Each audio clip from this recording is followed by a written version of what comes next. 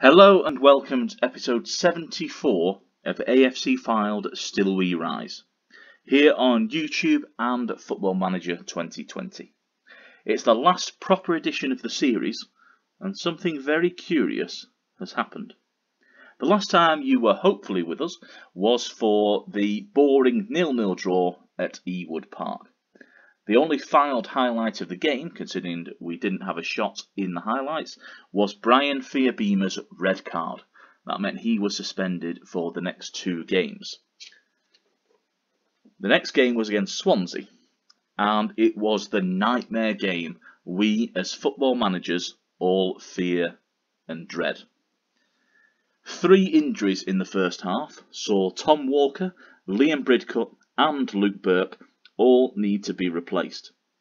Then, early in the second half, with the score at 2 2, thanks to Javan Malcolm and Barry Douglas, Alex Whitmore got himself sent off. And Swansea, led by Iber Eze and Lanzini, tore us to pieces.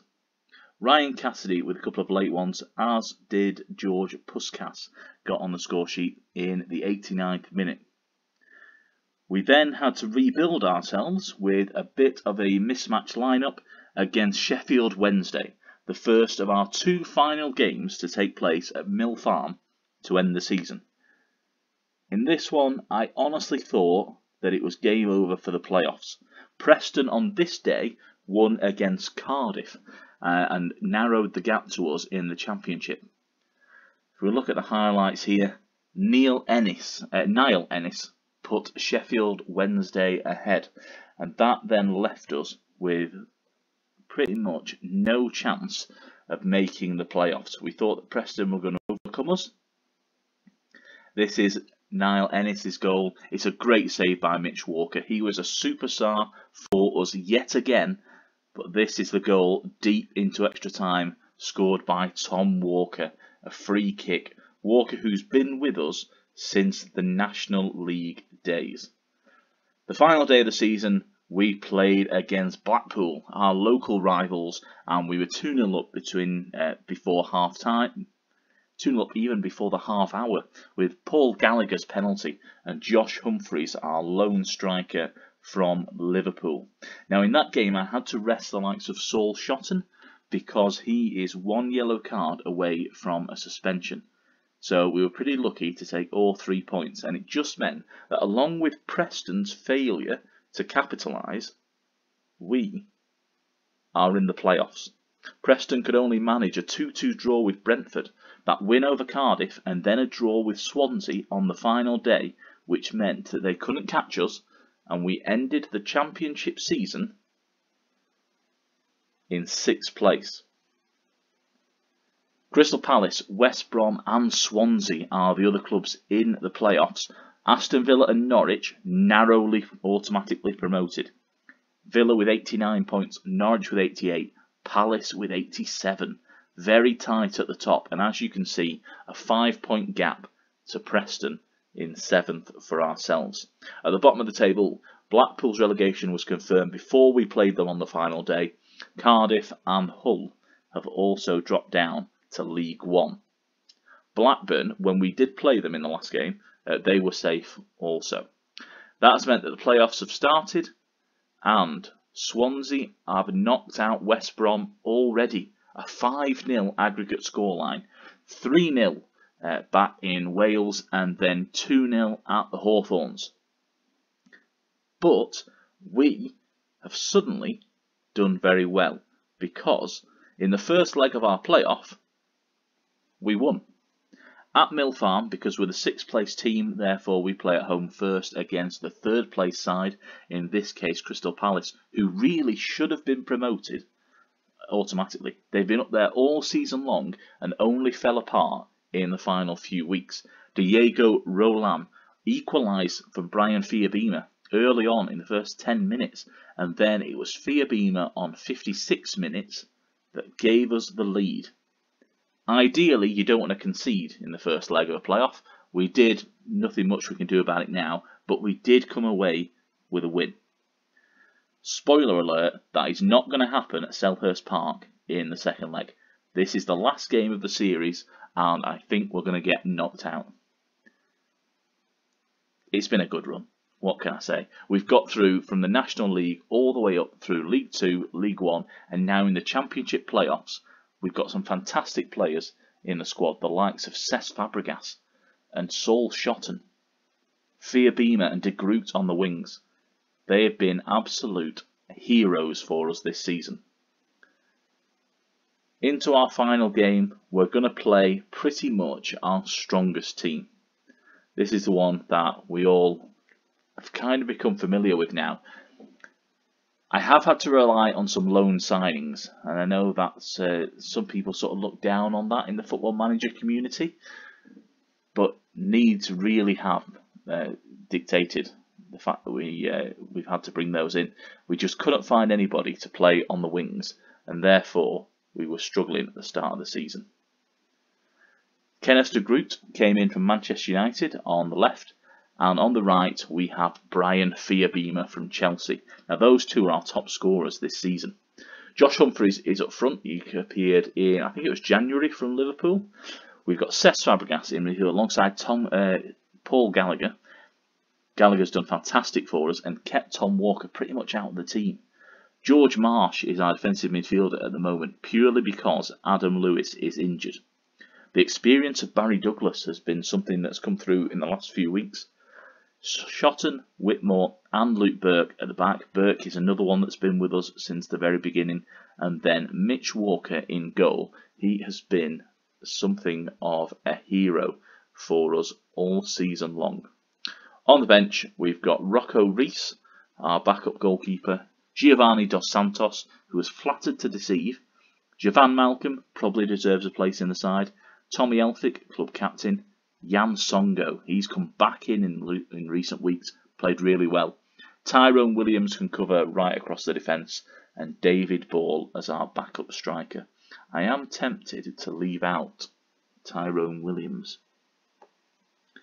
Williams or Yann Songo'o? I'm going to leave out both. The fact that Adam Lewis is capable of coming onto the bench makes me think that he should be involved. Tom Walker, a bit of a fitness concern. I'm bringing him in. There's no room for sentiment in football, but I am displaying it right now. Moise Kean is doubtful with a hip injury. I wonder if he'll play. Liam Bridcut is also doubtful for us. He won't play. Uh, certainly not. Palace are one to two favourites to win this. I mean, there's not a chance we are overcoming Palace, the Eagles at Selhurst Park, are we? Willy Sagnol is the manager these days. This could be another hammering. It could be another 7-2. I don't know what's going to happen, but I'll be watching it with my fingers crossed and possibly somewhere behind the couch because this is pretty much what the entire final season uh, is relying on. We've done so well to play against, especially against the big boys. We've uh, played a lot of them this season, and we've done pretty well. Kean is not featured in the squad for Palace. Craig Short says to do this for the fans. No particular reaction. Nothing makes me more angry than players ignoring the fans. How are you approaching the task of keeping the Sky Bet Championship's leading goal scorers quiet? We've got Matthew Jones from the Football League paper approaching me in the tunnel. Don't know how he's got down there. I, we're just going to approach it as we do. I trust my players. I trust them. I mean, they, they're not going to believe that. Saul Shot has been rock solid, yeah, but he has uh, he has missed out on the last few games. Yeah, I certainly hope he can uh, keep that going. You've left out Alan Lewis out. He can't start due to his injury, there's no way. And here we go, as you can see, both teams in the huddle. Fylde breakout first. And it's time to just encourage our boys they do have some good players at Crystal Palace. Harrison, Chalobah, Robinson, they're all decent guys. Rodan, De Silva. But here's Alex Whitmore. Now, what tends to happen is the highlights that start with us having the ball don't seem to end it. Uh, I've noticed in recent weeks. So it'll be a good effort if we can get a shot off here. Fabregas wide to Fiabema. It's Humphreys who goes close. Great effort there by, I think it was uh, McCrory, the goalkeeper, to make the block. As Burke and Whitmore now pick up two bookings in quick succession, that pretty much says that Palace are going to enjoy the lion's share of efforts on target. As soon as we struggle, that's what it sort of means. As De Groot, I think De Groot and Fiabema are going to be key for us. If we're going to get anything from this game, our forward three really do need to show up. It's the playoff semi-final, Selhurst Park. Imagine AFC Fylde fans, the Coasters, making the trip down to London for this big game. Of course, in real life, they're playing in the National League North as Gallagher whips in a free kick. And it's the opening goal by Alex Whitmore. That wasn't supposed to happen. That wasn't expected to happen. Whitmore scored. His first of the season, and he saves it for the semi-final of the playoffs. Alex Whitmore putting Fylde ahead. The Coasters. Are we are we on course for the playoff final? I mean, we're not going to win the playoff final because it's against Swansea, and Swansea pretty much tear us a new one every time we play them. We're actually might do it. I, this game. This was supposed always supposed to be the last episode. Episode 74 was where it was going to end. I was going to do one more just to round everything off, talk about what I've, what we've learnt during the save, how AFC Fylde have progressed. And as it stands, we've matched Crystal Palace's away goal. I didn't expect this to happen. Uh, I don't know what to do now. I'm sort of tempted to take Alex Whitmore off because he's on a booking. Anybody can tell the nerves in my voice, there's a good reason for it. Oh, Elphick, I don't. Uh, yeah. I, recently, this has been akin to going downstairs into the basement to check on that awful noise. As now Palace are getting the bookings, and they've made a change up front, bringing on Stuart Lycett. Have, have we turned this round?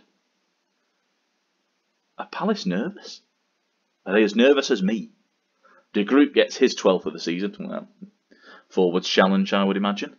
It's a very even game, and there's Saul Shotton with his 15th. I mean, I'm hoping that doesn't rule him out of the final. As there's the goal. Michael Olise for Crystal Palace. Suddenly, they are within a goal of us. We won the first leg 2-1. It's now 1-1 in the second leg at Selhurst Park. Are we going to throw this away? Oh, see, this is... It's a highlight for Palace. This isn't good. Olise is through. He's through on goal. And there it is. We are all square. Oh, do you remember that moment when I thought that we might actually do this? I missed that moment. But normal service has been resumed. Tommy Elphick not able to, oh, Mitch Walker's done so well for us this season. So well. And that was an awful attempt to make the stop. But it's now 2-1, which means it's 3-3 on aggregate. Next goal wins? There we go. Ask the question, get an answer straight away. Robinson inside to Lycett. Oh, he didn't score. It's back to Travis. All we need is one chance. One chance for Fiabema or De Groot. Maybe even Humphreys. Or Fabregas. Or Gallagher, actually. Mitch Walker takes the uh, kick here. And is that Lycett off? It's a straight red for Stuart Lycett. And we're just going to pause things. This is the most cruel thing ever, to dangle it in front of my very face. Now, I've got to be careful here. I want to bring on Lewis and I want to bring on Walker, but they're both not fit. 20 minutes though. I did want to bring on Jovan Malcolm we need to. Right, this is the plan. Malcolm's on.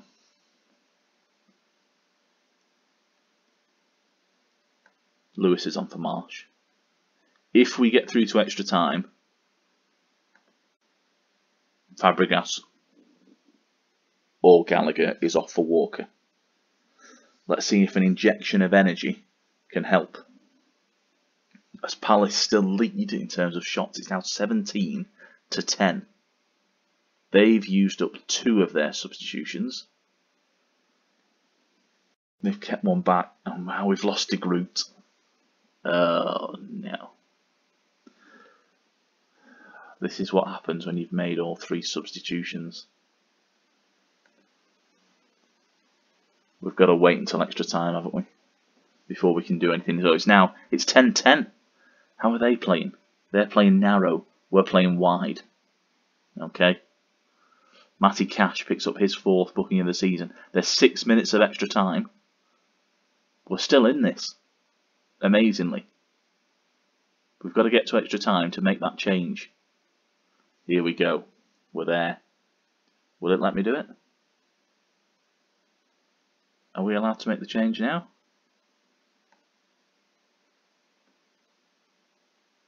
No? Why not? Why are we not allowed? Surely we can make the change now. Oh, is it because he's already been forced off? Oh, no. I've got to do it. Their efforts have been excellent. That's a sea of green. Why would it not let me change him? Okay. Game's broken. That's what's happened there.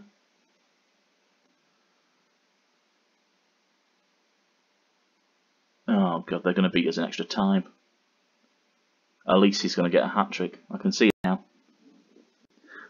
He scored two in two minutes to reply to Alex Whitmore's first half headed goal. And we're ticking down the seconds here to half time in extra time as Robinson, I think, was offside there. Oh, the seconds are just agonising as Mitch Walker makes another save. And this is the goal. It's not the goal, it hits the upright. Half time in extra time. Okay, everybody. Breathe. And away we go for the second half. Barry Douglas with the ball in. Fiabema. Did he get clipped? No, but it's a ball downfield to Robinson. The counter's on. It's over. It is all over. Palace popping it around. Oh, it's still not in. And now it is. It's Callum Robinson in the second half of extra time to put Palace three goals to one up. We had to play with 10 men due to a broken game. Wouldn't let me replace De Groot. It's 10-10 and Palace have all have been a better side this season. They should have got automatic promotion. The fact that they're going to make the playoff final, I think it's probably the right thing. And, and what a, a playoff final that'll be. Crystal Palace. All right, I don't take the. Jesus. Crystal, I'm saying nice things. Crystal Palace versus Swansea City in the Championship playoff final. Okay, all right. No need for this, is there? Robinson. He's through again on goal. Shot and away. It's going to come back in though through Cash. And it's now 4-1. We just ran out of steam. A missed interception by Shotton, apparently the cause of the goal. Not entirely convinced by that. I think it was just good play by, with the overlap by Cash. And Mitch Walker again should have done better. Should I have signed a better goalkeeper? He did come from Aldershot. But there you have it. Look at the, the, performance by the Palace boys. They've just put their foot on the gas in the second half of extra time and they've blown us away.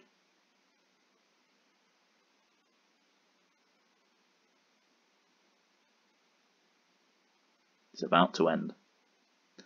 33 shots to 14. Palace have deserved it. And it's all over. Crystal Palace are in to the playoff the championship playoff final. Well done to them. Well done to Willy Sagnol. I'm going to give my team talk and tell them that their efforts were excellent. I'm going to congratulate them with integrity.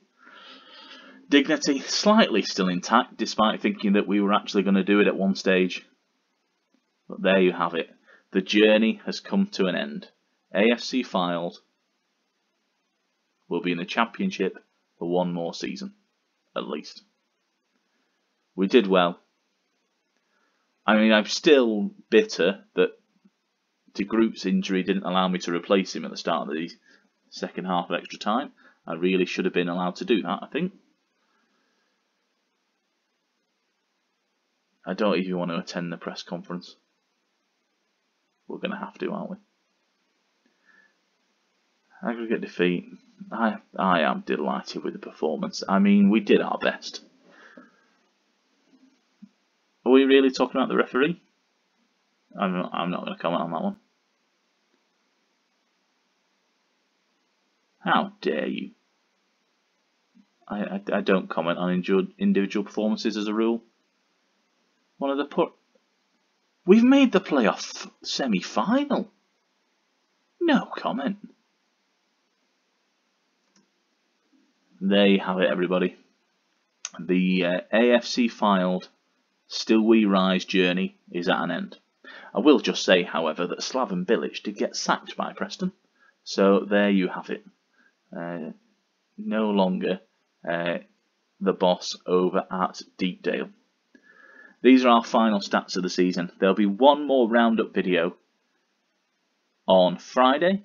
We'll just have a quick look at the winner of the playoffs. We'll have a look at the other leagues and then that will be the official end of this series. My first ever YouTube Football Manager series. I'll see you then.